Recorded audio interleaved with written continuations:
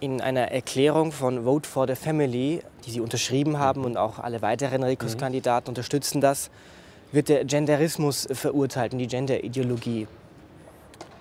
Ich glaube, viele, äh, dass sich viele Mitbürger ein vollkommen falsches Bild von der Genderideologie machen. Äh, die meisten Leute, mit denen ich äh, über Genderideologie rede, die sagen, ja, das ist doch großartig, wenn man Gleichberechtigung der Frau herbeiführt. Das ist aber nicht Genderideologie. Genderideologie ist die verrückte Vorstellung, dass die persönliche menschliche Freiheit erst dann gewährleistet ist, wenn man sich die eigene Geschlechtsidentität nicht auch noch von der Natur aufzwingen lässt. Das ist Genderideologie. Das heißt also, jeder soll frei entscheiden können, praktisch jeden Tag neu, ob er sich als Mann, als Frau oder als irgendwas anderes fühlt. Ja, es kommt ja, gibt ja sozusagen auch schon jetzt äh, die äh, Eintragung äh, von äh, Transsexualität als, eigene, als eigenes Geschlecht. Es gibt auch älter A und älter B in der Geburtsurkunde ja, also statt Mutter ja, und Vater. Das ist alles verrückt. Äh, das ist Genderideologie und diese Genderideologie läuft auf eines hinaus, nämlich auf die Zerstörung der Familie als Kern und als Fundament des Staates. Und das muss man den Leuten sagen. Und wenn man ihnen das einmal klarlegt, dann verstehen sie auch, warum man derartig entschlossen gegen Genderideologie auftreten muss. Und Gender als Gender Mainstreaming ist ja bereits sehr erfolgreich. Glauben Sie, es gibt irgendeine Möglichkeit, das wieder aufzuhalten? Ja, es wird dieser ganze Hype wird wieder abebben, wenn die Leute andere Sorgen haben.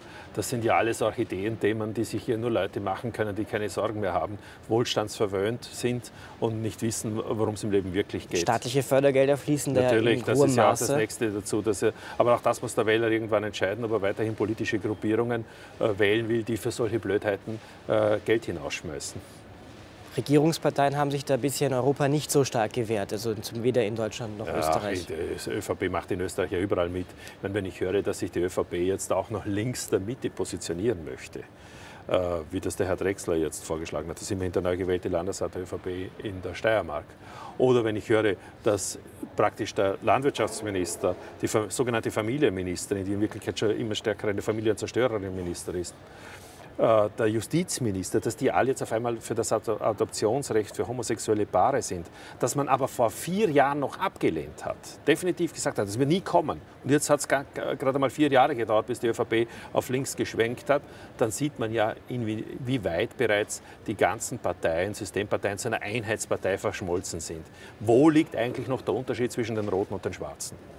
Wo liegt er eigentlich noch? Es ist, es ist ja schon so, dass in einzelnen Positionen schon mal die, die, Roten mehr Konservativismus vertreten als die Schwarzen. Das heißt, das ist eine einzige Systempartei geworden und der kann ich jedem Wertkonservativen nur raten, wählt was immer ihr wollt. Am liebsten wären wir natürlich die Reformkonservativen, aber bitte nicht mehr die ÖVP, weil die ÖVP verrät euch innerhalb kürzester Zeit.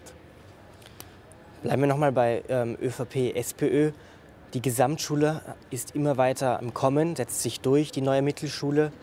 Warum hat die ÖVP gerade diesen Bildungsbereich, der ja eigentlich noch zu gewinnen gewesen wäre, aufgegeben? Die ÖVP gibt alles auf, was äh, an wertkonservativen Positionen vorhanden war, noch in Resten und daher auch in der Bildungspolitik.